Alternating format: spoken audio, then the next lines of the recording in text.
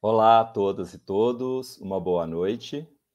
Meu nome é Alexandre Diniz, eu sou coordenador pedagógico do CCBB Educativo do Rio de Janeiro. Eu sou homem branco e na câmera apareço até a altura dos meus ombros. Tenho os olhos castanhos, uso óculos, cabelo raspado, barba grisalha curta e estou usando uma camisa polo rosa. Jéssica Mendes é intérprete de Libras. É uma mulher branca e na câmera aparece até a altura dos ombros. Ela tem os cabelos castanhos curtos, olhos castanhos e está usando uma camisa preta com detalhe em branco e um fone de ouvidos. É um prazer receber vocês para mais uma edição do Encontro com Professores Virtual. O CCBB Educativo é apresentado pelo Ministério do Turismo, apresentado e patrocinado pelo Banco do Brasil. Nós somos um programa de mediação cultural que estabelece o diálogo entre os diversos públicos e a programação cultural dos CCBBs. O Encontro com Professores Virtual é uma ação de formação do programa educativo que propõe estreitar os laços entre o CCBB e os professores de todo o Brasil. Até dezembro, nós receberemos um especialista em arte e educação para um encontro que explora as possibilidades pedagógicas de temas relativos às exposições em cartaz.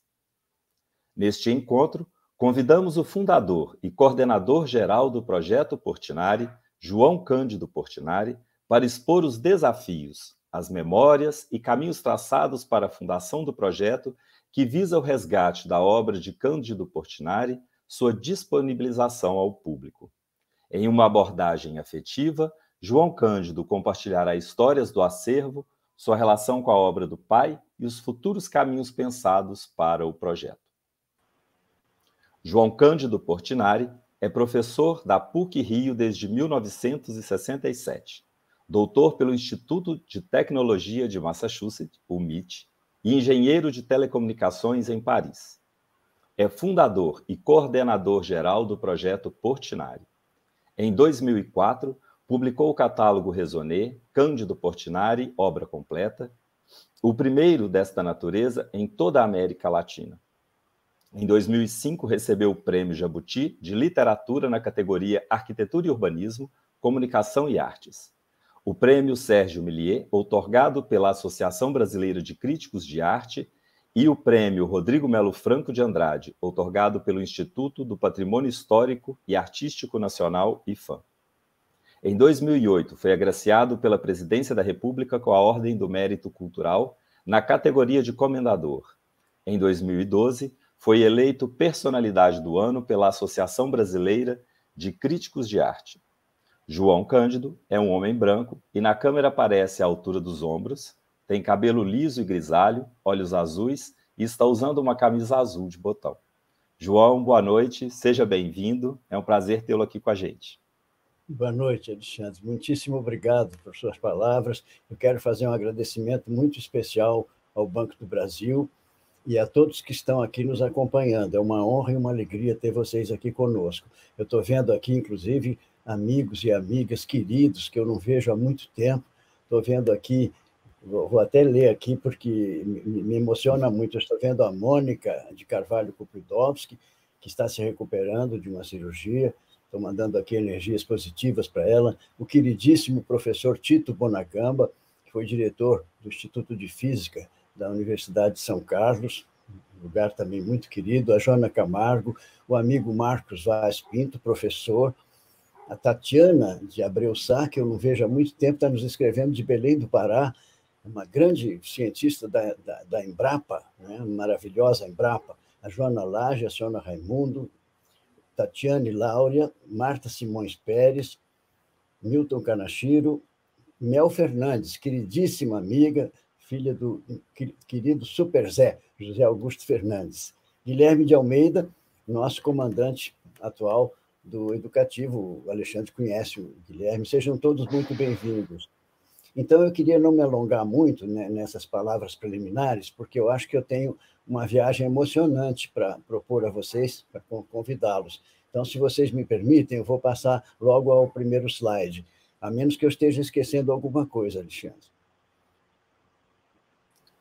Não, está tudo então, certinho, João, fica à vontade. Certo.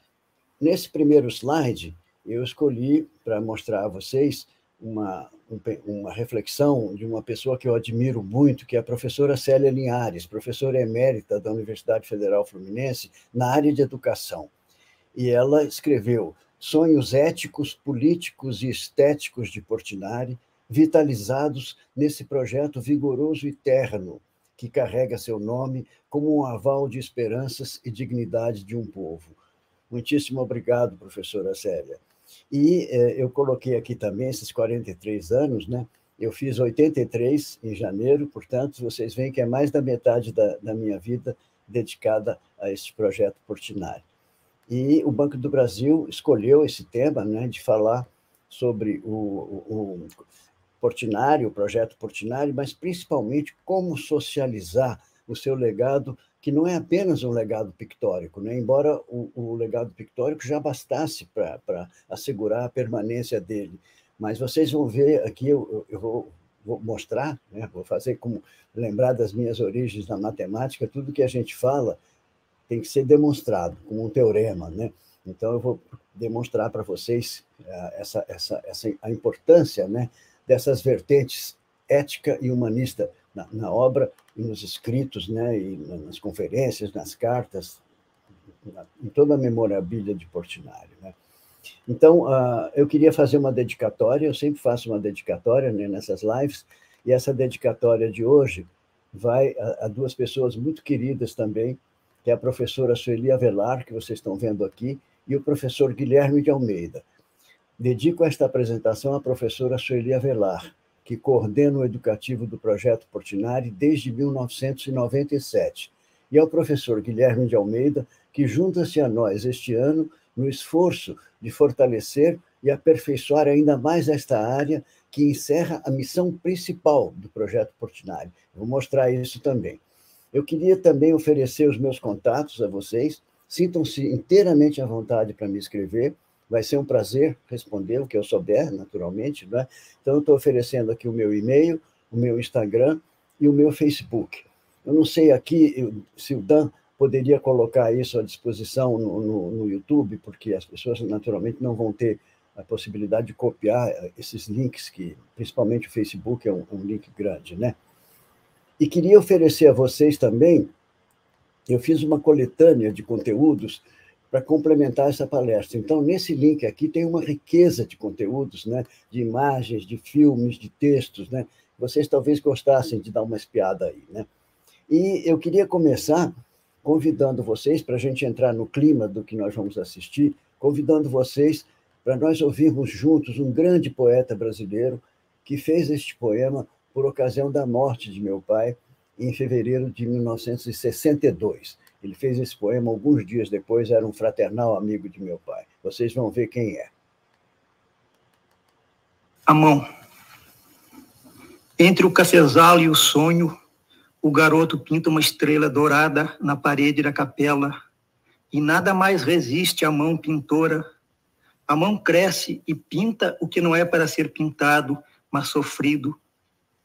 Entre o sonho e o cafezal, entre guerra e paz, entre mártires, ofendidos, músicos, jangadas, pandorgas, entre os roceiros mecanizados de Israel, a memória de Giotto e o aroma primeiro do Brasil, entre o amor e o ofício, eis que a mão decide.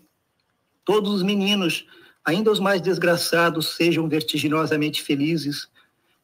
Agora, há uma verdade sem angústia, mesmo no estar angustiado. O que era dor é flor, conhecimento plástico do mundo, e por assim haver disposto o essencial, deixando o resto aos doutores de Bizâncio, bruscamente se cala e voa para nunca mais a mão infinita, a mão de olhos azuis de Cândido Portinari. Então, eu queria mostrar para vocês como surgiu o projeto Portinari. Né? Vamos falar primeiro um pouco de Portinari. Né? Eu escolhi um pequeno texto, mas muito forte, né, do Israel Pedrosa, pintor, professor da Universidade Federal Fluminense, amigo de Portinari, escritor, né, escreveu aquele livro Da Cor à Cor Inexistente, que se tornou um clássico. Né? E ele, certa vez, ele disse, nenhum pintor pintou mais um país do que Portinari pintou o seu. Eu fiquei assim um, um, um pouco perplexo com essa afirmação dele e perguntei Israel: você está se referindo ao Brasil, naturalmente, né? Ele disse: não, João, eu estou falando da pintura universal de todos os tempos. Você teve pintores imensos, né? Miguel Ângelo, Leonardo da Vinci, Rafaelo, Van Gogh, Picasso, Monet, Matisse, a gente pode citar né, pintores imensos, mas me aponte um que pintou mais o seu país do que Portinari pintou dele. Os grandes temas sociais, históricos, religiosos, o trabalho no campo e na cidade, a infância, a festa popular, os tipos populares, os mitos e o folclore, a fauna, a flora e a paisagem. Portinari nos deixou realmente um grande retrato crítico não é, do, do nosso país. É, é, é, até vale comentar uma coisa que, que sempre me, me, emocionou muito, você pensar nesse menino que nasceu num povoadozinho perdido no Cafezal, lá no interior de São Paulo, né, Brodowski, né, era para, praticamente uma parada para o trem pegar café. Ah, como que, que esse menino, filho de imigrantes italianos, né, uma família pobre, com 11 irmãos, como que ele chegou a revelar o Brasil aos brasileiros. Né? Essa coisa extraordinária também, a generosidade do Brasil em acolher, né? que a primeira geração já é brasileira. Né? Então, esse aspecto de Portinari como pintor do Brasil, eu queria ressaltar aqui. Mas há um outro aspecto, talvez menos conhecido, que é o aspecto dele ter sido um dos grandes intérpretes do pensamento de sua geração. Ele foi como se fosse um polo de captação e irradiação das preocupações estéticas, artísticas, culturais, sociais e políticas do seu tempo, como nos diz o historiador de arte baiano Clarivaldo Prado Valadares. E eu, eu, eu escolhi aqui, nós temos no, no, no acervo documental do Projeto Portinari, ao longo desses 43 anos, nós reunimos 30 mil documentos e 5.400 obras. Né? É, nesses documentos, nós temos muitas fotografias de época. Eu escolhi aqui uma para mostrar a vocês ah, é, é, quem eram essas pessoas que estavam com, com Portinari nesse momento. Né? Então, essa foto ela representa os 50 anos de Graciliano Ramos. Eles estão reunidos aqui. Aqui está o Graciliano, né? Aqui está o ministro da Educação e Saúde na época, Gustavo Capanema. Para vocês terem uma ideia, né? Quem era o chefe de gabinete de Gustavo Capanema era ninguém menos do que Carlos Drummond de Andrade. Outros tempos, né, gente? Vocês tinham aqui Manuel Bandeira, Jorge Amado, José Lins do Rego, né? e todos esses intelectuais, tem esse aqui que está aqui meio escondidinho, porque ele era mais jovem, um pouco tímido, né? que era Vinícius de Moraes. Então, essa gente convivia permanentemente, estavam sempre discutindo o mundo, discutindo a arte, discutindo a política, discutindo o Brasil, né? Isso aí nós perdemos um pouco, nós nos tornamos um pouco ilhas, né? E eu queria mostrar para vocês um, um, pequeno clipe de vídeo aqui que, que fala né, sobre essa interação com essa geração.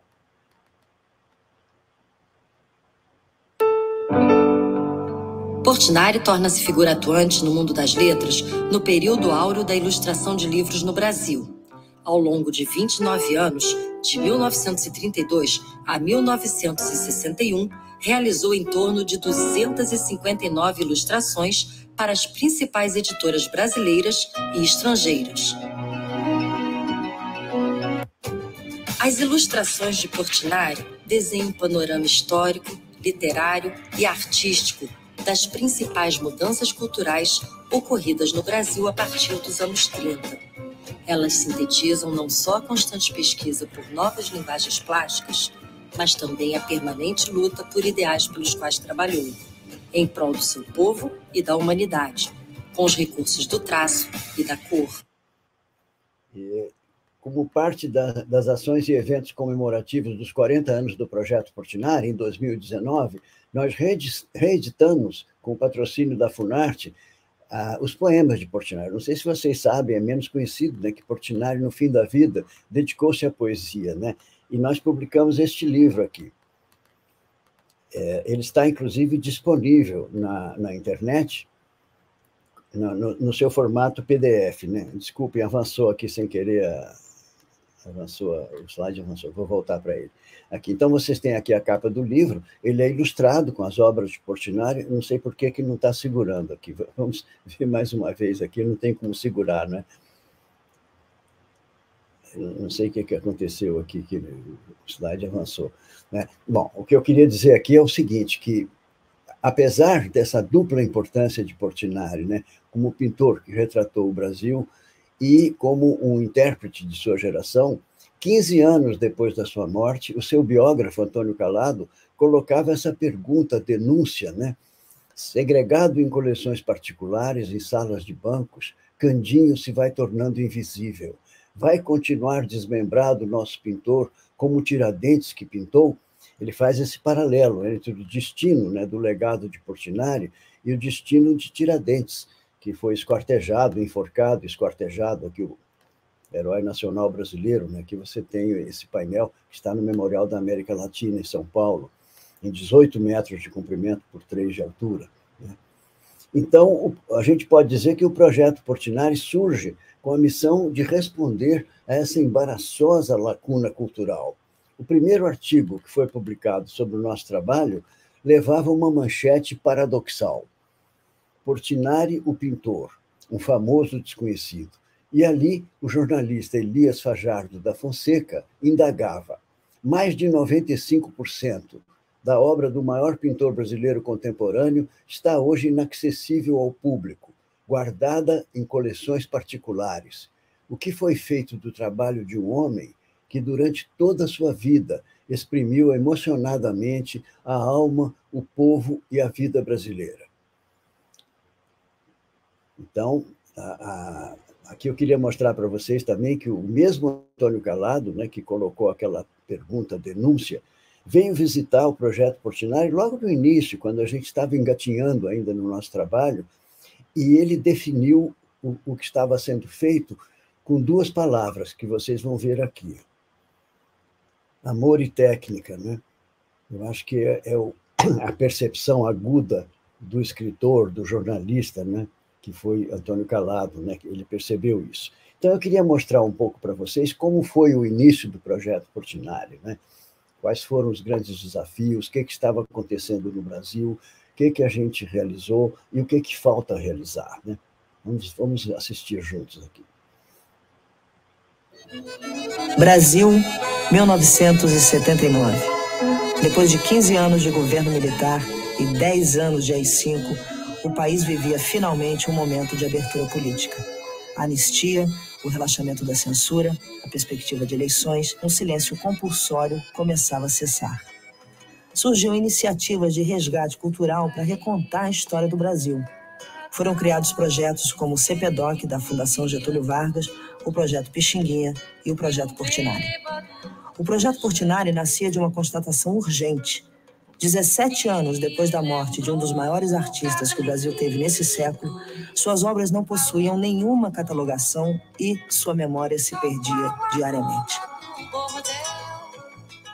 Uma equipe liderada por João Cândido Portinari, filho do pintor, começou um trabalho de detetives para tentar reunir as informações sobre as obras de Cândido Portinari e as memórias de sua época. Nascido dentro da área científica da PUC do Rio de Janeiro, o projeto Portinari já apontava uma natureza multidisciplinar, reunindo métodos científicos, alta tecnologia e rigor histórico a serviço da arte e da cultura. O projeto começou com o levantamento de mais de 5 mil obras e de depoimentos de grandes brasileiros contemporâneos de Portinari, além de catalogar mais de 25 mil documentos. No processo de cruzamento de informações, muitos fatos vieram à tona e muito foi se descobrindo sobre como aprender a ler Portinari. Essas informações deram um novo sentido à obra e revelaram razões muitas vezes escondidas por trás das tintas. No caso de Portinari, não havia museu nenhum, não havia nenhum catálogo, os livros escritos sobre a obra e vida dele estavam esgotados, não se tinha ideia do paradeiro das obras, nunca havia sido realizada uma exposição retrospectiva. A história do projeto Portinari eu acho que começa nesse momento, né? quer dizer, nessa volta e na perplexidade né, de como começar um trabalho desse. A sensação que foi nos tomando, né, era de que você estava lidando com, a própria essência da nacionalidade. Quer dizer, você estava lidando com o tecido mais sutil, com a trama mais profunda, né? que é essa trama que revela a, a imagem da alma né? da, da, daquela sociedade onde apareceu aquele pintor que a retratou. Então, ah, isso, isso foi realmente um processo quase que, que insensível. Você foi sendo tomado por aquilo, né? E esses 20 anos passaram assim. Ao projeto Portinari não interessava fazer um juízo de valor sobre a obra do artista, mas sim criar uma base de informações imparcial e de livre acesso para pesquisadores e público em geral. O projeto sempre buscou ter uma face pública, seja através de exposições, publicações e palestras proferidas de norte a sul do país e no exterior durante mais de 15 anos. Interessava criar uma educação visual e histórica da formação da cultura moderna brasileira, da qual Portinari é um dos expoentes. 1928. Portinari retrata Cavalcante, governador de Pernambuco. Este é um dos 10 mil documentos localizados pelo projeto Portinari, que está resgatando para a memória nacional o trabalho do nosso pintor maior. Agora, o último esforço no Brasil para que nada sobre Portinari fique esquecido. Se você possui alguma obra ou documento, informe seu nome e endereço para a Caixa Postal 500, Rio de Janeiro. O projeto Portinari mobilizou pessoas e instituições por toda a parte para sua empreitada. Contou com o patrocínio da FINEP e o apoio de empresas como a Varig, a Kodak e a IBM. Com a iniciativa da Rede Globo e da Fundação Roberto Marinho, foram realizadas chamadas e campanhas em favor do projeto que resultaram em mais de 3 mil cartas mandadas para a Caixa Postal 500. Fruto dessa mobilização, quadros importantes dados como perdidos foram encontrados pelo país inteiro, além de informações que ajudaram a compreender o contexto das obras. Eu não coloquei aqui o crédito desse filme, né? Quem fez esse filme foi o Marcelo Dantas, né? o nosso grande curador, que fez a exposição que está atualmente em cartaz no Banco do Brasil, na exposição Portinari Raros. Aliás, só vai até segunda-feira, hein, gente? Não percam, tá? Maravilhosa. E ele fez também a exposição Portinari para Todos, que eu vou mostrar um pouco adiante para vocês como foi né, a exposição Portinari para Todos. O Marcelo é um gênio, ele foi o criador do Museu da Língua Portuguesa, do Museu da Natureza na Serra da Capivara, e museus pelo mundo inteiro, né? Então, aqui vai o crédito dele. Os primeiros 25 anos de trabalho do projeto Portinari foram tempos de formiguinha, ao cabo dos quais nós tivemos a felicidade de publicar o primeiro catálogo Raisonné sobre a obra completa de um pintor ao sul do Equador. Eu vou mostrar para vocês aqui. É, são cinco volumes, né? E são mais de 5 mil ilustrações. E eu, eu eu pensei que eu não fosse estar vivo para ver isso, né? Foi uma alegria imensa, porque os catálogos ditos raisonné, depois a gente pode falar um pouquinho o que, que significa é, é, esse vocábulo raisonné, né? que vem do francês racional, né? mas que é adotado no mundo inteiro. Nos Estados Unidos eles falam catalogue raisonné também, né? Depois eu explico um pouco melhor isso. Mas uh, é muito comum que, que você tenha catálogos japoneses que duram 40 anos, 60 anos, 80 anos para completar e toda a equipe vai-se embora e uma nova equipe assume. Nós tivemos a felicidade né, de ver em vida né, esse catálogo Raisonné. E eu vou mostrar para vocês um pouquinho como foi esse processo.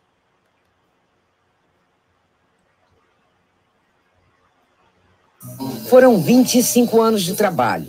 A agenda de João Cândido Portinari já registrava em 78 a ideia de fazer um catálogo com todas as obras do pai, o pintor dos brasileiros. No início, o trabalho era feito à mão, em fichas que tinham detalhes sobre cada obra de Cândido Portinari. A partir de 1980 é que o catálogo começou a entrar para o mundo dos computadores. Agora, com a ajuda da tecnologia, todas as 5 mil obras do pintor vão poder ser vistas, estudadas e analisadas em livro e CD-ROM. Não é um livro qualquer, é o primeiro catálogo completo da obra de um pintor brasileiro, o chamado Catálogo Raisonné. Nas primeiras páginas, que acabam de sair da gráfica, a cor precisa de cada quadro, uma descrição detalhada de cada desenho. 4.991 obras já identificadas pelos pesquisadores. Vamos folhear juntos o catálogo Raisonné para eu comentar com vocês ah, o que, que é, o significado da palavra raisonner é racional, né? um catálogo racional. Mas o que quer dizer isso? Tem alguns livros de arte por aí que se dizem catálogos raisonnés, mas que na verdade não são, porque o que caracteriza o catálogo raisonner é uma pesquisa exaustiva cruzando o conjunto da obra com o conjunto dos documentos. Vocês estão vendo que ao lado de cada ilustração de obra aqui tem um verbete, né? Então, por exemplo, se esta obra aqui for citada numa carta que Portinari trocou com Manuel Bandeira, digamos, a referência a essa carta tem que estar aqui no verbete. Então, isso, é, isso tem que valer para os 30 mil documentos. Se não for assim, não é um catálogo raisonné. Né? A outra coisa também é você ter todas as obras reproduzidas, né? se possível, a cores. Às vezes a gente não consegue localizar a obra e tem uma imagem de um recorte de periódico, por exemplo, aí ela tem que ser preto e branco mesmo. Né? Olha o tamanho desse verbete aqui, vocês estão vendo dessa obra, olha. Então, toda a documentação cruzada. Isso é que requer tantos anos assim. E o outro, a outra coisa é você colocar a obra em ordem cronológica no catálogo raisonné. Né? Isso é uma expectativa que há também no, no vocábulo raisonné. Aqui, no caso nosso, Portinari deixou de datar metade da produção dele. Então, nós tivemos mais de 2.500 obras sem data, que nós tivemos que cruzar com a documentação toda para encontrar a data e colocar por ordem cronológica. E mais um comentário, né, a questão dos, das obras falsas. Nós nos defrontamos com gangues de falsários, né, desde o início do nosso trabalho até hoje, continua. Né, chegam obras falsas lá na, na PUC, pessoas que levam obra falsa pedindo que a gente autentique, é, é um problema muito, muito grave. Eu vou mostrar para vocês algumas tentativas, alguma, alguma pesquisa que nós fizemos nessa direção. Mas imaginem se a gente, por exemplo, incluir uma obra falsa no catálogo Raisonné, ele perde a credibilidade. Né? E se deixar de incluir uma obra verdadeira, nós estamos prejudicando também não só o público, mas o, o proprietário também dessa obra. Então, vocês veem que é uma empreitada assim de, de longo fôlego. Né? E nós tivemos também uma grande alegria e muito orgulho né, de ver que o presidente da República, à época, o catálogo foi publicado em 2004, adotou o nosso catálogo Raisonné como um presente de Estado. Aqui vocês veem ele oferecendo o catálogo Raisonné ao presidente da França, Jacques Chirac, né? mas ofereceu também ao Papa Bento XVI, a rainha da Inglaterra, aliás, que Deus a tenha, ela partiu hoje, hoje de tarde, né? ao primeiro-ministro do Japão, a presidente do Chile, a secretária de Estado dos Estados Unidos, a Condoleezza Rice, né? Então, isso prosseguiu depois do governo Dilma também, e isso nos trouxe muito orgulho, naturalmente. Né? Agora, uma coisa que, que eu escolhi aqui para mostrar para vocês, que nos emocionou muito, foi esse texto que o cientista político Emir Sader escreveu. Ele diz assim: olha, agora estão dadas as condições do encontro de Portinari com o Brasil. Que o catálogo seja adquirido por todas as instituições públicas que possam colocar a obra do nosso maior pintor à disposição do povo brasileiro e de todos os povos que queiram conhecer a nossa identidade expressa na sua forma mais sensível e profunda. Ninguém conhece o Brasil se não conhece a obra de Portinari. E aqui eu quero mostrar para vocês, aqui, aquilo que eu prometi, né? mostrar que essa exposição que ocorreu lá no Miss Experience, em São Paulo, no Museu da Imagem do Som, até dia 10 de julho passado, na exposição Portinari para Todos, com a curadoria também do Marcelo Dantas, ela realizou pela primeira vez este encontro, né? É, que, que Emir Sader menciona, solicita aqui. Né? Vamos, vamos ver como é que foi isso. Aqui vocês têm, né? Este encontro de Portinari com o Brasil, entre aspas, se deu este ano, em escala monumental, no Miss Experience em São Paulo, com a exposição Portinari para Todos, que pela primeira vez apresentou o legado de Portinari no formato digital, imersivo e interativo, e monumental, que com os recursos da mais recente tecnologia possibilitou apreciá-lo, esse legado, em sua totalidade, de corpo inteiro, em verdadeira grandeza. Vamos olhar um pouquinho como é que foi. Foram 200 mil pessoas que visitaram.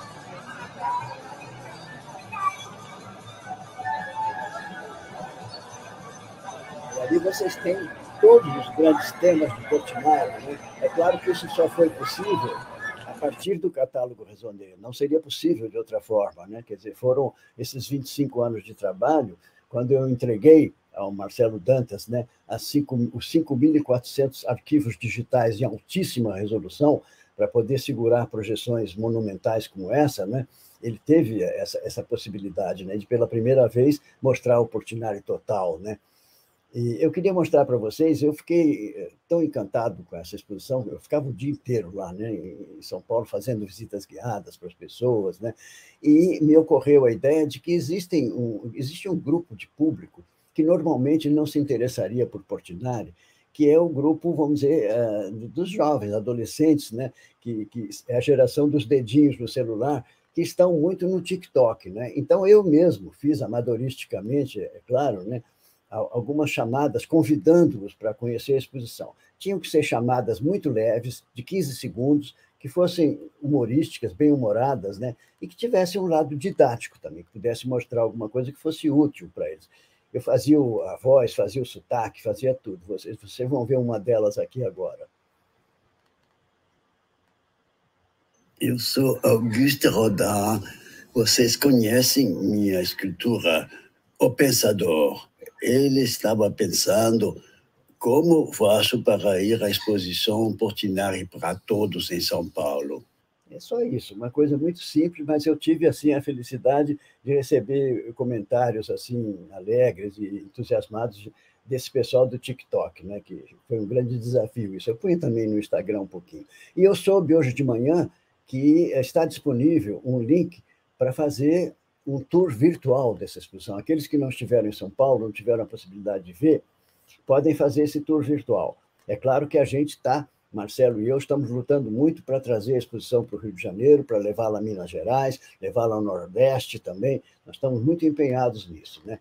Mas, é, por enquanto, pode-se fazer esse tour virtual.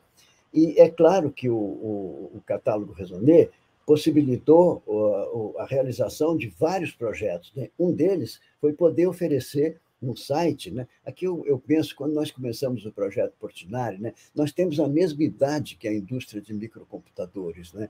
Então, a gente nem sonhava, quer dizer, essa missão de colocar Portinari no colo de cada brasileiro, onde quer que ele esteja, nos parecia uma missão impossível. A gente jamais imaginou que iria surgir uma coisa chamada internet, né? Então, vocês têm aqui o portal vocês estão vendo aqui, aqui vocês têm um acesso gratuito, né, e, e sem, não há necessidade de senha nem nada, de aos 5.400 obras e aos 30 mil documentos. Aqui é mais completo ainda que o catálogo Raisonné e permite fazer buscas. Vocês estão vendo essa janelinha aqui, tipo Google. Se vocês colocarem uma palavra aqui, aqui no caso a palavra músicos, imediatamente se forma uma galeria com todas as obras em que aparecem músicos. Né? Isso é uma festa na sala de aula. Né? Os alunos, ao fazer seus trabalhos escolares, encontram aqui uma riqueza de conteúdos né? que faz a alegria das professoras e deles próprios. Né? Então, eu vou mostrar a vocês, uh, o, nós uh, lançamos eh, esse portal no Complexo do Alemão, no Rio de Janeiro. Vocês vão ver a reação das crianças, dos jovens, do público em geral lá no Alemão, quando nós apresentamos o, site a eles, o portal. Ainda falando em arte, crianças do Complexo do Alemão, no Rio, conheceram hoje um pouco da vida e da obra de um dos maiores pintores brasileiros. A iniciativa faz parte do lançamento de um portal na internet sobre Cândido Portinari. Olhares atentos e curiosos. Você imagina quem foi que pintou todas essas figuras aí? Não sei, eu queria saber. O universo rico e colorido de Cândido Portinari atraiu a atenção dos alunos do Centro Cultural Digital, no Complexo do Alemão. Eles navegaram no novo portal sobre o artista, que teve a obra completa digitalizada. São cerca de 5 mil imagens. O site também contém cartas, fotografias, jornais e depoimentos que se referem a Portinari e à época em que ele viveu. Conhecer a obra do Portinari é conhecer o Brasil, é se conhecer, é conhecer a nossa identidade, a nossa cultura. Em quadros que mostram, por exemplo, uma favela no Rio de Janeiro na década de 1950 e a migração de nordestinos para os grandes centros devido à seca. O lançamento do portal inclui aulas gratuitas em comunidades do Rio. Vai ser uma ferramenta muito importante para os professores na sala de aula. O objetivo do portal é democratizar a obra de Cândido Portinari. 95% das telas do artista pertencem a coleções particulares. E as crianças aqui do Complexo do Alemão aprovaram a iniciativa. Eu nunca tinha aprendido isso, agora que eu tô vendo, achei bem, bem legal. Eu pude aprender a cultura, a arte, ouvir algumas histórias também. Qual vai ser a primeira coisa que você vai fazer quando entrar no site? Eu vou abrir o Facebook e vou compartilhar. Eu queria convidar vocês, né, o nosso educativo, com, com o professor Guilherme de Almeida, está com um projeto neste momento. Eu queria convidar vocês para assistirem amanhã o Jornal Hoje, da Globo, a uma hora da tarde, que, que vai focalizar o, o que nós estamos fazendo. Né? Nós fizemos na, nas duas semanas anteriores na Rocinha e está agora em, em cartaz na, na Pavuna. Né? O que vai ser focalizado amanhã é o que está sendo feito na Pavuna, com o Portinari. Eu queria agradecer a todo o pessoal do Educativo, na, na pessoa da professora Celia Velar e do professor Guilherme de Almeida, né, por, por, essa coisa extraordinária que eles estão fazendo. Queria voltar, então, à questão da, da, da, da parte tecnológica, né, da, do catálogo Raisonné, que, que nos permite desenvolver, vamos chamar de produtos, entre aspas, né, como esse portal Portinari, que nós acabamos de ver. Tem um outro portal que para aqueles que têm espírito de pesquisa, que estão aqui no, no, no, nos assistindo, eu recomendo muito, que a gente chama de DocPro. Pode acessar por esse link aqui. E aqui vocês têm os 30 mil documentos em altíssima resolução. Vocês podem baixar as cartas, por exemplo, ou, ou imagens, fotografias, né? Todo tipo de documentos. Vocês têm cartas, recortes de periódicos, fotografias, textos avulsos, monografias, né? E é, é permitido gratuitamente, sem senha, baixar para o seu computador qualquer um desses documentos. Vocês estão vendo essa janelinha aqui, olha? A gente pode escrever aqui, por exemplo, Graciliano, e vão aparecer todos os documentos que citam a palavra Graciliano, mesmo que, a, vamos dizer, que a, que a, que, que a letra aqui seja manuscrita, né? Foi feito um reconhecimento ótico de caracteres, então a gente tem a versão digital de cada um desses documentos, o que permite fazer essa busca. Né? Agora, o que, que permitiu fazer isso tudo? Tanto o catálogo Raisonné, né, quanto o portal, esses dois portais que eu mostrei a vocês, foi uma base de dados extraordinariamente complexa, né, que foi desenvolvida com o apoio da, do, do, dos nossos colegas da área de ciência e tecnologia da PUC, em particular o departamento de informática. Eu não posso citá-los todos, não, não, haveria tempo para isso. Eu vou citá-los na pessoa do professor Sérgio Lifschitz, um querido amigo que orientou as teses né, de, de, das pessoas que trabalharam na nossa base de dados. E uh, essa base de dados vocês estão vendo aqui a complexidade dos relacionamentos, né? Por exemplo, você tem obra conjunto, obra, uh, relação com, com obra-evento, procedência da pessoa, o cromo, não é tudo isso cruzado, esses cruzamentos todos. Isso levou o Google a fazer essa declaração aqui, na pessoa de Tiago Carrapatoso, do Google aqui do Brasil. De todos os grandes acervos internacionais constantes do nosso Google Art Project, o do projeto Portinari é aquele que apresenta a maior e mais rica complexidade de cruzamentos. Isso levou o Google a abrir uma exceção para nós. Eles têm o Google Art and Culture Program, né, que disponibiliza os acervos dos grandes museus do mundo. É claro que o projeto Portinari não é um museu, mas eles, ah, diante dessa, dessa riqueza de informações, né, com, com esses cruzamentos, a organização desses conteúdos, eles resolveram abrir uma exceção e eu vou mostrar a vocês o que, que eles fizeram né, dentro do Google Arts and Culture Program. Né? Aqui, uh, vou mostrar para vocês, foi quando o projeto Portinari completou 40 anos, em 2019. Aqui foi o lançamento né, da. A serviço da arte. Cândido Portinari é o primeiro artista brasileiro a ganhar uma exposição virtual no Google Arts and Culture. O site tem colaboração com museus espalhados pelo mundo todo. E nesta semana, a retrospectiva em homenagem a Portinari foi lançada na Pinacoteca de São Paulo. A Sara Kines mostra agora para gente um tour em 360 graus pela casa onde Portinari morou na infância e adolescência em Brodowski, no interior de São Paulo. Um passeio por 15 exposições virtuais que oferecem uma imersão na vida e obra do pintor do povo. Em parceria com seis instituições culturais, o Google disponibilizou no serviço Arts and Culture mais de 5 mil pinturas, além de 15 mil documentos sobre o artista. The goal is to make more art, more culture, and more of the cultural heritage of Portinari available to anyone, anywhere for free. For the first time, over 20,000 artworks, images, sketches, drawings by and about Portinari are coming online on Google Arts and Culture. Em 1940, Portinari fez uma exposição solo no Museu de Arte Moderna de Nova York. A divulgação do evento citava como colecionador João Cândido Portinari, filho de um ano do artista. Hoje, aos 80 anos, o filho único do pintor dirige o projeto Portinari, que fundou em 1979 para catalogar a obra do pai.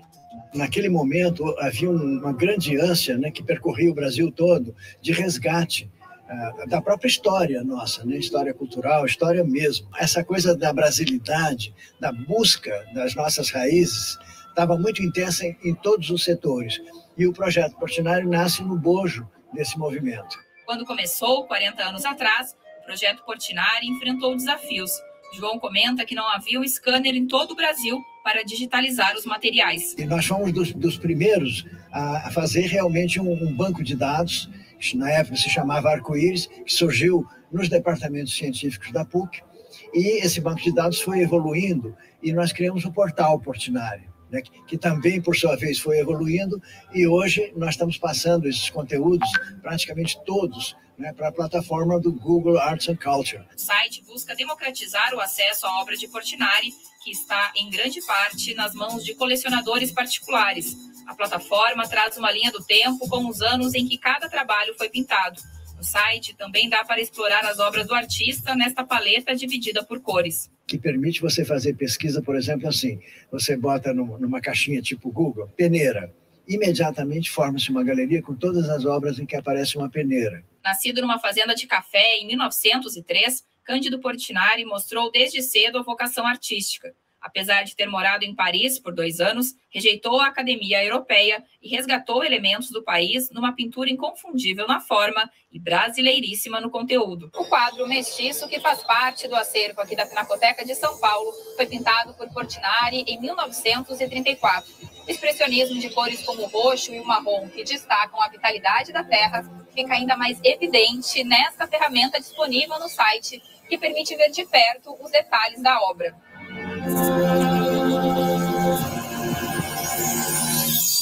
A guerra representada pelo sofrimento do povo e não por soldados em combate. Os dois painéis de Guerra e Paz ocupam uma superfície maior do que a da Capela Sistina, pintada por Michelangelo. A encomenda foi feita pelo governo brasileiro para presentear a sede da ONU em Nova York. Na época, Portinari contrariou os médicos que o proibiram de pintar por intoxicação pelas tintas e finalizou a obra em 1956. A entrada da Assembleia Geral da ONU é um local de segurança máxima, então os painéis não podem ser visitados. Nós recebemos muitas queixas de brasileiros que iam lá visitar e não, não podiam. Com esse Street View agora, você vai ter a possibilidade de ver como se você estivesse lá. Inclusive ver coisas que estão a 14 metros de altura, porque ali você não tem tanta possibilidade de ver os detalhes. Acho que tudo isso é de uma grande felicidade e eu tenho a impressão que o público vai ser muito beneficiado com isso.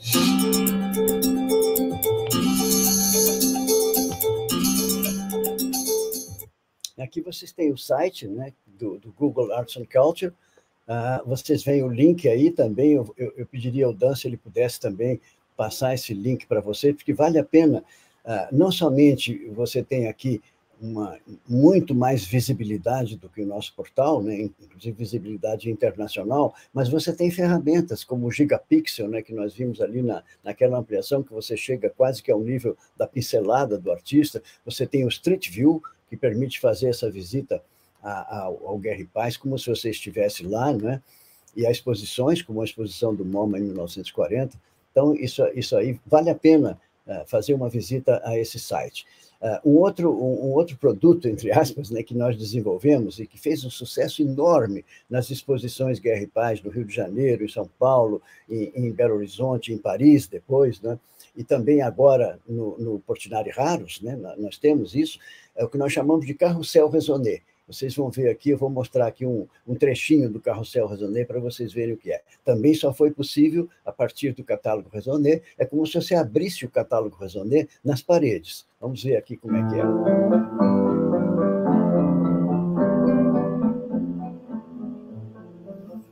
A gente fez uma estimativa que, se você quisesse ver tudo realmente, a obra vai desfilando por ordem cronológica. Né? Se você quiser ver tudo, teria que ficar nove horas aí para ver tudo. Lá no Banco do Brasil, até a segunda-feira que vem, a exposição Portinari Raros, em um espaço onde está instalado o carrossel resolver. As pessoas ficam encantadas ali em frente, ficam horas ali. E eu queria mostrar para vocês que tudo isso vem que, do, do, DNA do projeto Portinari, que é um DNA que vem da área de ciência e tecnologia. Ele surge no departamento de matemática da PUC, né? eu, eu, onde eu era professor, eu fui um dos fundadores do departamento de matemática da PUC, um dos primeiros diretores também, e todos os interlocutores iniciais eram da física, da, da matemática, das engenharias, né? e, e isso eu acho que permitiu que o projeto Portinari tivesse essa sobrevida tão longa, né, de 43 anos, como projeto cultural aqui no Brasil. Né? Então, aqui vocês veem, eu, eu não vou ter tempo, é claro, de fazer uma, uma, exposição completa sobre a importância da ciência e tecnologia para o projeto Portinari, eu vou só mostrar alguns exemplos né, de, de como isso foi importante e como isso repercutiu também na área de ciência e tecnologia. Né? Vocês veem, por exemplo, aqui, uh, prime a primeira revista da IBM, né, quando a IBM publicou pela primeira vez o seu House Organ, né, que era a revista IBM, nós fomos artigo de capa, no primeiro número do ano 1. Né, tinha uma matéria aqui de sete páginas sobre o projeto Portinari. Queria mostrar também que, quando, em 6 de maio de 2016, a Academia Brasileira de Ciências completou 100 anos, nós fomos convidados, com essa palestra, a, a encerrar as comemorações pelo centenário da Academia Brasileira de Ciências. Né? E queria mostrar também que a primeira face visível do projeto Portinari ela eh, envolveu ciência e tecnologia também. Eu vou mostrar a vocês um pouquinho. Né? Foi quando eu saí pelo, pelo Brasil, pelo mundo, né? levando, uh, tentando conquistar simpatias, adesões, apoios, patrocínios né? para esse projeto que estava começando sem uma experiência prévia. Né? Aqui vocês veem os equipamentos, como os equipamentos foram, foram se modernizando né, ao longo do tempo. E aqui, é, artigos de periódicos né, que cobriram as palestras né, nesses, nesses, diferentes lugares. Né? Aqui vocês veem Belo Horizonte, Universidade Federal do Mato Grosso do Sul, Companhia Paulista de Força e Luz, isso foi em Campinas, a Escola Superior de Guerra, Joinville, a Gazeta de Muriaé, na Zona da Mata, em Minas Gerais, né? Pernambuco.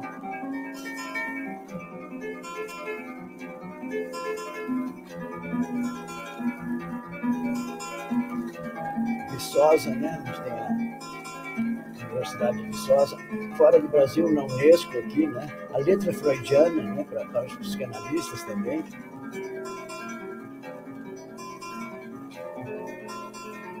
aqui na França.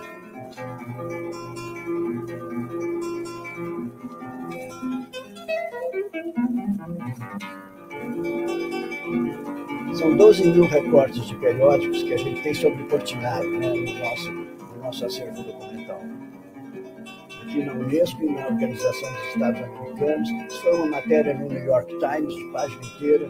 E aqui em russo, vários idiomas, né? são 40 idiomas do Correio da Unesco, aqui no Rio Grande do Norte, né? em Natal. Isso aqui foi uma coisa assim muito emocionante, né? Em Minas Gerais, aqui. Eu vou mostrar a vocês um pouco, né? Aqui vocês veem, eu fiz aqui uma pequena resenha, né? Vocês reparem que todos esses nomes, quer dizer que a maioria desses nomes que estão aí são da área de ciência e tecnologia, né? Onde a gente apresentou.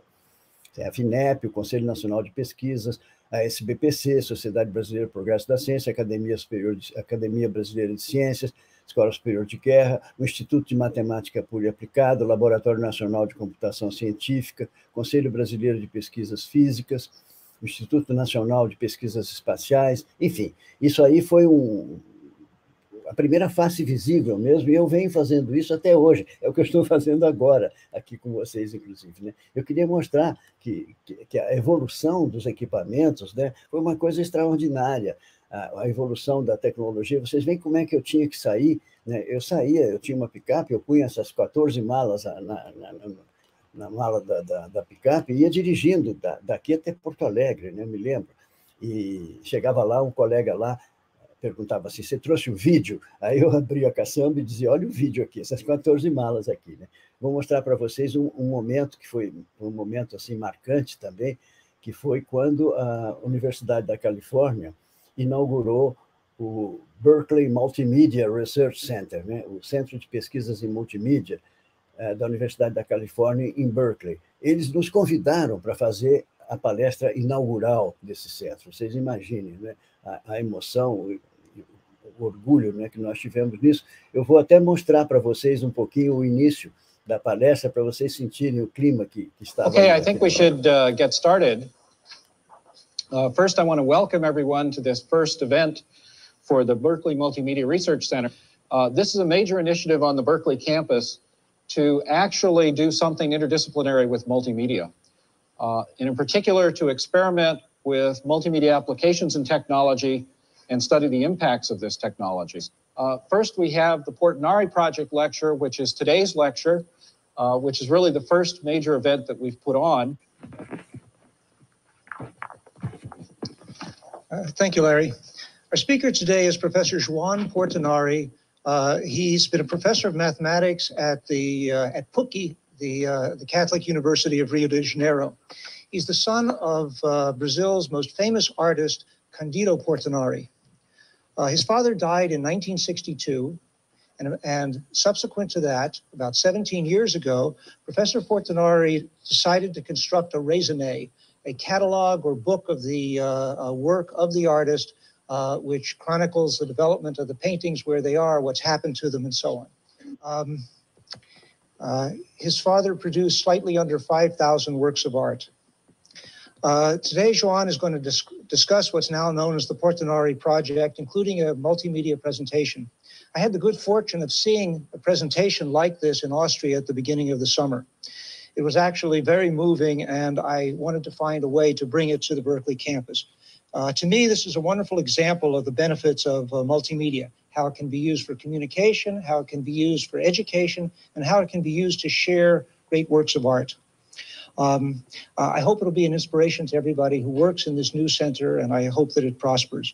Uh, please join me, join me in welcoming Professor Portinari. Vamos, aqui eu não posso, claro, passar isso tudo, né? mas vou mostrar para vocês um outro momento, que foi um momento muito emocionante, quando a gente viu a primeira obra de Portinari digital nos equipamentos do Instituto Nacional de Pesquisas Espaciais. Aqui eu estou com os colegas de processamento de imagens lá do INPE, né? Aqui nós temos o Nelson Mascarenhas, aqui o Luiz Alberto Vieira Dias, né? E aqui atrás vocês têm um Bumba Meu Boi, nesse equipamento aqui, que hoje caberia dentro de um iPhone, né? O desenvolvimento foi extraordinário, a gente teve a emoção de acompanhar esse desenvolvimento científico-tecnológico, né? Aqui na, na, revista Dados e Ideias, em, em 84, né? Tudo isso estava começando, né? multimídia, como, como eu disse, foi em 1995, né? Então, a primeira tentativa de preservar toda a obra do artista com o computador. E, para finalizar essa, essa parte de ciência e tecnologia, uh, o projeto Pincelada. Aqui eu volto àquilo que eu comentei com vocês, né, do desafio uh, colocado pela existência dos falsários. Né? A gente, como é que a gente poderia ter um instrumento objetivo né, que pudesse uh, garantir, na, na medida do possível, que uma obra fosse falsa, né? O problema de atribuição de autoria. Aqui a gente teria muito a falar sobre as vertentes tradicionais, né, para se detectar obras falsas. E a gente estando numa, numa universidade como a PUC, que, que tem excelência em ciência e tecnologia, a gente escolheu um caminho original, né, na época, que é olhar para a morfologia da pincelada. Vamos, vamos ver o que, que o nosso colega Sidney Paciornik, né, da, da PUC, nos diz a respeito do projeto Pincelada, aqui, só para a gente encerrar essa parte de ciência e tecnologia. Agora, de onde é que nasceu essa, essa, a ideia de fazer essa identificação pela pincelada, quer dizer, o projeto pincelada? Na verdade, isso tem mais do que 15 anos. É, nasceu é, com a ideia do João Cândido Portinari, que é o coordenador do projeto Portinari, e do professor Jorge Westlichner, da Departamento de Matemática aqui da PUC, que começaram a se questionar sobre os problemas de autenticação que o projeto Portinari muitas vezes era submetido. Tinham que autenticar um quadro. Isso criava, como eu já comentei antes, problemas complicados. E eles começaram a buscar, naturalmente, estando dentro de uma universidade que faz pesquisa na área de ciências tecnológicas, ciências exatas, uma maneira mais objetiva. Então surgiu a ideia de que provavelmente nessa mistura de cores, nessa maneira do pintor agir, nessa coisa essencialmente neuromuscular do pintor, nessa maneira dele tratar o contato do pincel com a tinta e do pincel com o quadro, deveria haver alguma coisa que fosse identificadora da, daquela, daquela pessoa, daquele, daquele artista. Então nasceu a ideia do projeto Pincelar. Agora eu queria falar com vocês sobre a, o educativo. Né? Eu sei que eu estou falando com professores, com professoras, né? E eu queria falar um pouquinho do porquê que o projeto Portinari escolheu como missão principal as crianças e os jovens, o nosso educativo, né?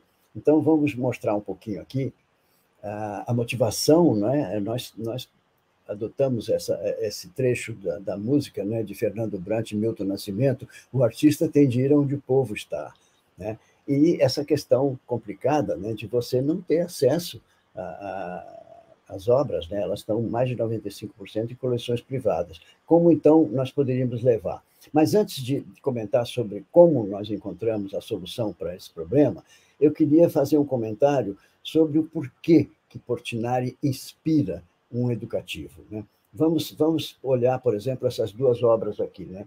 À esquerda, vocês têm uma obra de Kandinsky, pintor abstrato, né? e à direita, um, um, um estudo para a série Retirantes, de Portinari. Né? O que, que a gente observa aqui? Nós não estamos fazendo nenhuma comparação de qualidade. É claro que Kandinsky é um pintor imenso, né? como Portinari também é. Nós não estamos comparando os artistas, nós estamos comparando o que, que a gente vê. Né? No, na, na, obra à esquerda, você, o, o, artista nos propõe linhas, formas, volumes, cores, né? enquanto que à direita você tem uma proposta profundamente comprometida com o social, com o humano, né? uma proposta de valores. Que valores são esses?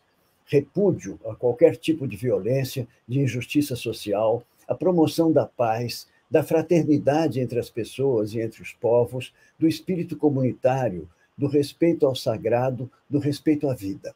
Então, a partir dessa constatação, descobrir a missão do projeto Portinari é um pulo. O que de mais importante nós poderíamos legar aos nossos filhos e netos do que esses valores, num mundo convulsionado como nós vivemos, né? Por outro lado, nós temos também a aptidão que as crianças têm, a percepção que elas têm com relação à imagem. Né? Eu vi muitas crianças perceberem numa tela eh, de Portinari uh, detalhes que eu não tinha notado. Eles têm realmente essa, essa capacidade né, de percepção. Né? Então, você tem as duas coisas: você tem esse desejo de passar esses valores para as crianças e para os jovens, e a aptidão deles para receber esses valores, né? sob a forma de imagens, de textos, de poemas, né? de, de todo esse legado de Portinari não pictórico também. Né? Então, eu queria demonstrar, como, como matemático que eu fui, né? a gente sempre tem esse cacuete de pe pegar as coisas como se fossem teoremas. Né? Quando você afirma uma coisa, tem que demonstrar. Então, eu vou procurar demonstrar para vocês o acerto né, de, dessa escolha. Então, vamos, vamos nos voltar, por exemplo, para essa tela da série Retirantes. Né? E esse texto né, que eu escolhi nos escritos de Portinari, né, em que ele diz: Desde menino tenho vivido o drama dos retirantes. Como deixar de fixar em meus quadros aquilo que fez parte de minha infância, de minha vida e a minha esperança de ver uma vida melhor para os homens que trabalham a terra? E aqui a gente vê, não é? Ah, eu tive, aliás, uma surpresa ontem, me mandaram uma imagem que foi publicada na primeira página da Folha de São Paulo. Não sei se vocês viram. Vejam só essa imagem. Né? Ontem mesmo, né? Você fazendo né, esse, esse paralelo né, entre o quadro de Pedro Américo né, e uh, personagens e cenas da, das obras de Portinari. E aqui eu selecionei para vocês também uma reflexão de um grande italiano do século XX, Giuseppe Eugenio Luraghi, poeta, escritor, crítico de arte, fraternal amigo de Portinari, né, que conheceu como ninguém, foi um irmão para o meu pai, e ele escreveu isso aqui, que eu acho que é, é, é perfeito. Né? E diz assim: a primeira vez que encontramos este homem, baixo de estatura e de aspecto bastante modesto, e olhamos nos seus olhos celestes e o ouvimos falar longamente, simples como uma criança, as crianças que ele amava acima de tudo, é difícil acreditar que estamos diante do pintor mais terrível e mais trágico do nosso tempo. Então, aqui eu queria mostrar para vocês, voltando novamente aos retirantes, né? Slide veio rápido demais, desculpe. Eu queria falar que também seria uma pena a gente falar sobre um pintor e não mostrar nada da obra dele. Então, vamos ver essa obra de temática social um pouquinho juntos aqui.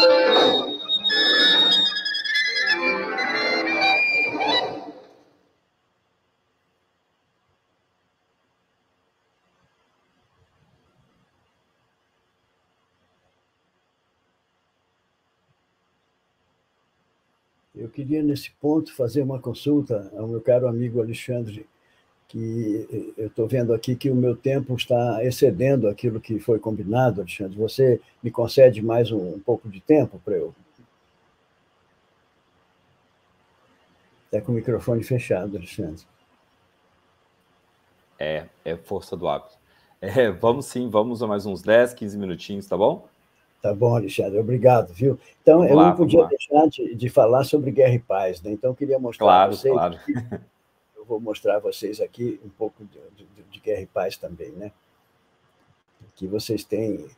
Aqui tem tanta coisa que a gente poderia falar, né? Por exemplo, eu percebi ao longo desse tempo que eu venho trabalhando no projeto Portinari, uma coisa que não foi muito discutida né, que é a importância da mulher na obra do Portinari. Quando vocês olham para a obra dele, né, por exemplo, aqui no painel da guerra, vocês veem ah, uma maioria de mulheres, né? inclusive essa figura da Pietà, né, da mãe com o filho morto ao colo, da iconografia católica, ela se reproduz oito vezes no painel da guerra. Né? Aqui eu fiz toda uma live só sobre isso, sobre a importância da mulher na obra de Portinari. Né? Mas aqui é claro que a gente não tem tempo para detalhar um pouco mais isso. Eu queria mostrar para vocês como foi a inauguração dos painéis Guerra e Paz, né, em 1957, na, na, sede da ONU em Nova York. Né? Vocês vejam aqui o tamanho, né, pela, pela proporção das pessoas. E 50 anos depois, em 2007, eu acompanhei o presidente da República para a abertura da Assembleia Geral das Nações Unidas. Vocês sabem que essa abertura cabe sempre ao Brasil, né? E uh, o Itamaraty tinha publicado um livro com todos os discursos de abertura. Eu li os 49 discursos precedentes, né? E fiquei chocado de ver que não, não havia nenhuma citação, nenhuma menção a esses dois gigantes né, que estão na entrada da Assembleia. Então, entrei na, na, em 2007, eu, eu, me sentei lá e, e imaginei né, que será que desta vez vão citar, e eu queria mostrar para vocês como foi né, esse, essa citação aqui.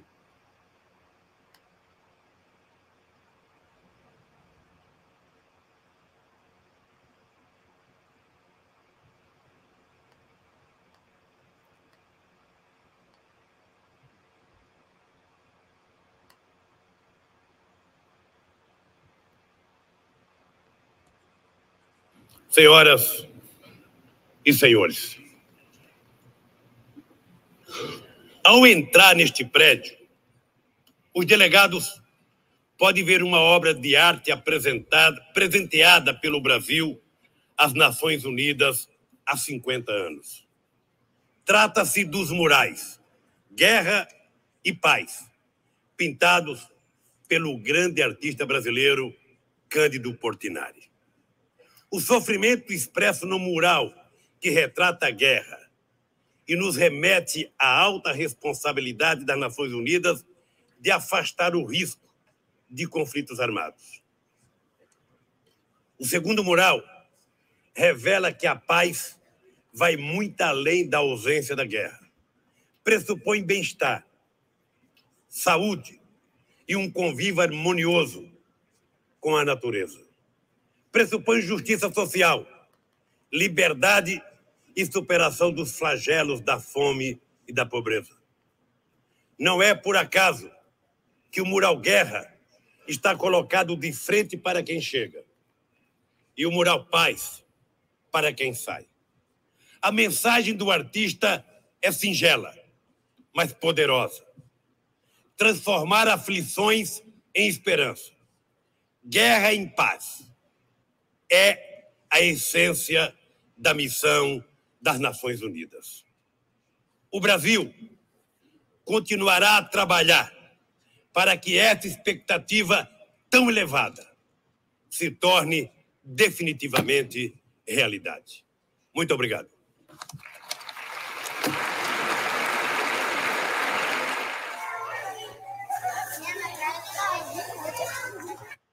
Eu vou passar adiante, eu não vou passar esse filmezinho, não, senão a gente vai se perder aqui no tempo. Eu vou mostrar a vocês, naquele momento, né, em 2007, eu tomei conhecimento de que a ONU iria passar por uma reforma profunda, que ia levar vários anos, e que as obras de arte teriam que ser retiradas. Então, aquele sonho né, que eu acalentei durante tantos anos né, de trazer guerra e paz ao Brasil, quem sabe se tornaria possível. Né? E nós conseguimos trazer, ficamos seis anos com a guarda dos painéis. Eu não sei se vocês se lembram, eles foram reinaugurados no, no mesmo local né, do que há 50 anos atrás, que foi no Teatro Municipal do Rio de Janeiro. Vamos ver como foi isso. A reação de todas, muita emoção. Fantástico, maravilhoso, impressionante. Adultos, crianças, idosos, veja quanto deslumbre no rosto de todos. A atriz Nissete Bruno viu os painéis pela primeira vez quando tinha 15 anos.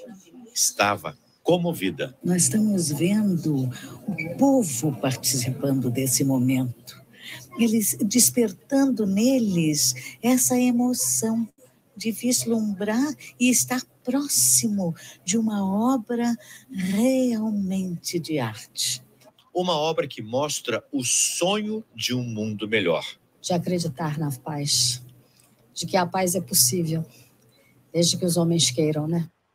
E eu queria terminar mostrando para vocês, né, nós ficamos esses seis anos com a guarda dos painéis, expusemos, fizemos o restauro né, no Palácio Gustavo Capanema, em ateliê aberto, recebendo escolas, crianças né, do Brasil todo, e depois nós levamos para São Paulo, Memorial da América Latina, depois Belo Horizonte, no Cine Teatro Brasil Valurec, e depois em Paris, no Salão de Honra do, do Grand Palais. Né? E eu queria mostrar que a volta pra, da, dos painéis para a ONU foi marcada por uma cerimônia espetáculo, né, dirigida por Bia Lessa, e uh, a gente teve a, a, alegria, o orgulho, né, de ver que esse espetáculo eles nos, nos estavam dando o próprio plenário da Assembleia Geral para fazer esse espetáculo. E vocês vão ver quem fez o discurso de abertura. Eu vou deixar como surpresa aqui com o último slide da nossa apresentação. Vamos ver juntos aqui.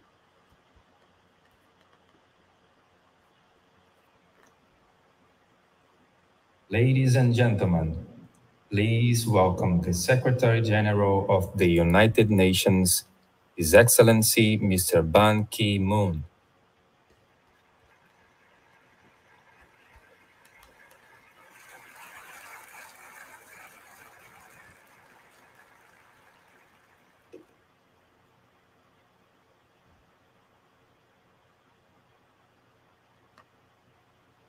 Excellency, Ambassador Antonio de Aguirre Patriota, permanent representative of the Federative Republic of Brazil uh, to the United Nations, Excellencies, Professor João Candido Portinari, Mr. Pia Lessa, Ceremony Show Director, Mr. Francisco Bosco, President of FUNARTE, Ms. Maria Duarte, Executive Director of the War and Peace Project, distinguished guests, ladies and gentlemen, boa noite.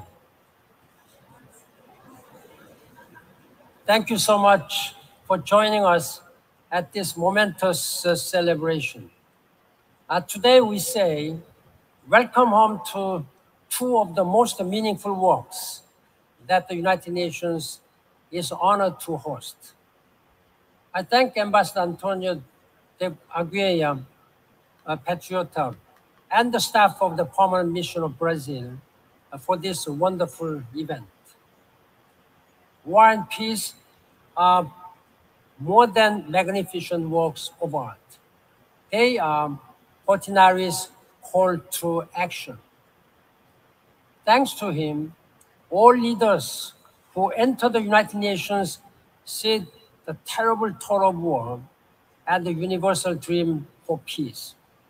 I'm deeply grateful to Projecto Portinari and the Brazilian government for the restoration.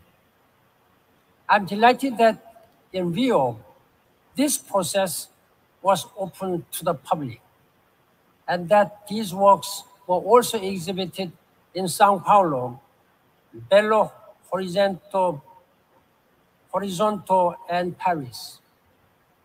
I visited Brazil when the murals were there in 2011.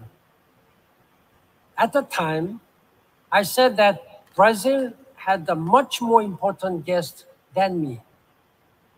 I, I meant war and peace. As you know, Portinari himself was warned by his doctors to stop working on the murals because he was becoming sick from the lead paint. But he refused, and he literally gave his life to finish these masterpieces. He never lived to see them installed. Ladies and gentlemen, please join me in a moment of silence to honor the memory of this visionary artist.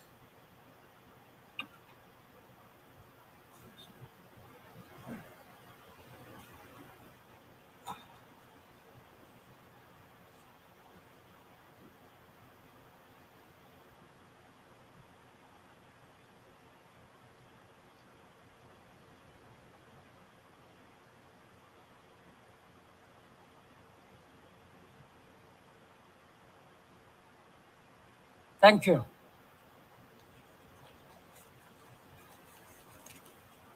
Portinari is no longer alive, but his legacy will live forever at the United Nations.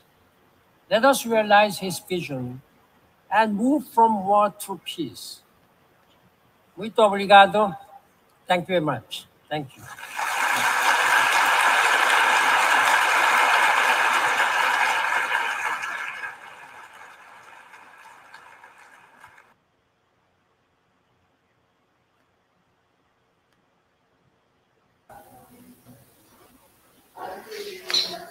Nossa, muito incrível. Eu acho que todos nós aqui hoje é, vamos sair dessa, desse encontro é, renovados, é, com um olhar mais, mais adoçado por, por tantas coisas, né? por tantos momentos, por tantas, por tantas revelações. Né? A gente vê o projeto Portinari atuando e acontecendo e, e crescendo, mas ver a oportunidade de conhecer né, esse, essa raiz, essa origem, esse nascimento, essa estrutura por trás do projeto, essa realização de um sonho, esse sonhar junto, é uma oportunidade incrível. João, parabéns pelo projeto, parabéns pela trajetória, né, por ter nos proporcionado esse, enfim, esse legado, né, por ter conseguido juntar tudo isso é, lá no CCBB eu faço as visitas também junto com a equipe de arte educadores e tem sido uma oportunidade incrível assim. Eu já gostava do Portinari antes desde a minha formação em artes visuais, né, em desenho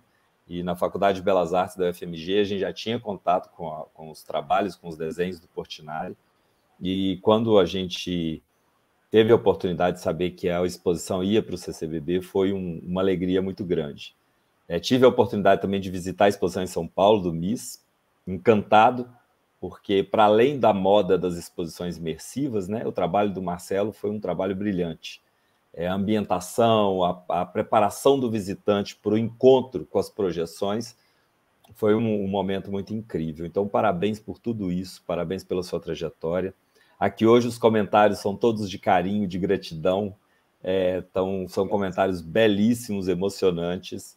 Eu acho que hoje você tem. Hoje você vai dormir com o coração cheio hoje de, de tantos carinhos, de tantas. Né, de tanto desejo, de afeto aqui por tudo que você representa para a gente. Parabéns mais uma vez. Muito obrigado por ter aceitado o nosso convite, por ter estado com a gente no Educativo, por ter nos brindado com tantas, com tantas informações, com tanto cuidado. Né? Enfim, parabéns mesmo. Muito obrigado, Alexandre. Eu queria parabenizar e agradecer eu, eu fui à visita guiada né, do educativo do CCBB, que você comanda, e fiquei absolutamente comovido, viu, pela dedicação, pelo entusiasmo, pela competência dos arte educadores que nos guiaram naquela tarde lá. Muitíssimo obrigado. João, João é, é, ganhou fãs. Ele, ele, os meninos tiraram foto e fizeram postar nas redes sociais. Eu falei assim, gente, olha, virou ator da Globo mesmo. Foi assim, um sucesso. Essas Todos gostaram muito, muito, Você é. é. um cara incrível, João.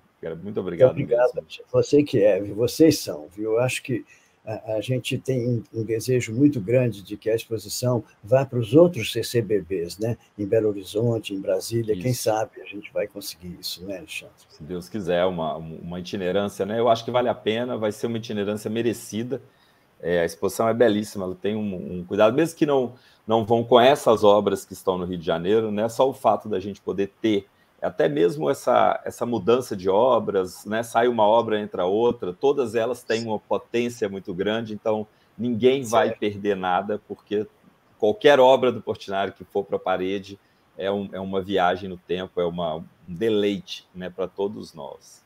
É, eu queria, quero agradecer. Eu queria, eu queria, também, se você me permitir, agradecer. Eu estou claro. vendo aqui comentários tão carinhosos, sabe, de gente tão querida aqui, eu queria agradecer de coração a, a isso, viu? Realmente, é, isso justifica todo o nosso trabalho, todo o nosso empenho. É verdade, é verdade. Esse carinho revela para que, que estamos no lugar certo, né, João? Isso é, é importante, né? Isso é um isso. balizador para todos nós, isso. né? Assim, a gente vê o retorno do público, as manifestações de carinho, o reconhecimento pelo trabalho, então acho isso muito, muito importante. É, bom, a gente vai encerrar então aqui o nosso, o nosso encontro virtual, nosso encontro com professores. É, lembrando que a gente realiza esses encontros né, mensalmente, então temos ainda uma longa trajetória até dezembro. Ah, realizamos também as obras em foco, estão no site do CCBB, vai ser postado agora uma sequência de leituras de obras né, que a gente realiza dentro da galeria, é, visita virtual, enfim, existe toda uma programação virtual é, que está disponibilizado no site do CCBB. É só todo mundo conferir e acompanhar com a gente. Ok? E, a, está, e vamos voltar, né, João? Convidar todo mundo, que acaba dia 12 de setembro, ainda dá tempo. Certo. Nós temos pois sexta, é. sábado, domingo e segunda, para quem ainda não foi visitar a exposição, não percam. Portinari Raros, no Centro Cultural Banco do Brasil, no Rio de Janeiro imperdível, emocionante, não percam mesmo. Alexandre, eu queria dizer uma coisa, que eu uh, não calculei muito bem o tempo da minha apresentação, peço desculpas, mas eu tive que cortar muita coisa justamente do educativo. Como eu não queria uhum. deixar de falar de guerra e paz, uh, muitas, muitas informações, muitos momentos de emoção do nosso educativo no Pantanal, na Amazônia, que eu gostaria de ter mostrado. Então, eu tá. ofereço, eu me coloco à disposição de vocês, se vocês quiserem fazer um repeteco em que eu me concentre somente no educativo, tá às ordens. Eu entenderei tá também, tá se vocês não puderem, que eu sei que vocês têm uma programação uh, muito acertada, muito ajustada, mas fica, fica a, a oferta aqui. É, e também está disponibilizado, né, João? Você já deixou para todo mundo aí o seu contato, né? É, acho que é legal, claro. né? Todo mundo tem acesso a isso. João é uma pessoa super acessível, eu já digo de antemão, a gente perturbou ele bastante nessa exposição, foi uma pessoa muito generosa em todos os momentos. Então, eu acho que o caminho está livre aí para todo mundo perturbar ele bastante, pode ficar à vontade. Vocês é que são, Alexandre, estou às ordens. Muito bem. Gente, então, uma boa noite para todos. Muito obrigado pela participação. Até o próximo encontro. João, muito obrigado. Jéssica, muito obrigado. Danilo, muito obrigado que nos ajudou aqui no, nos bastidores. O Léo, que está com a gente também nos bastidores. Obrigado a todos e a todas. Uma boa noite, uma boa semana, um bom final de semana.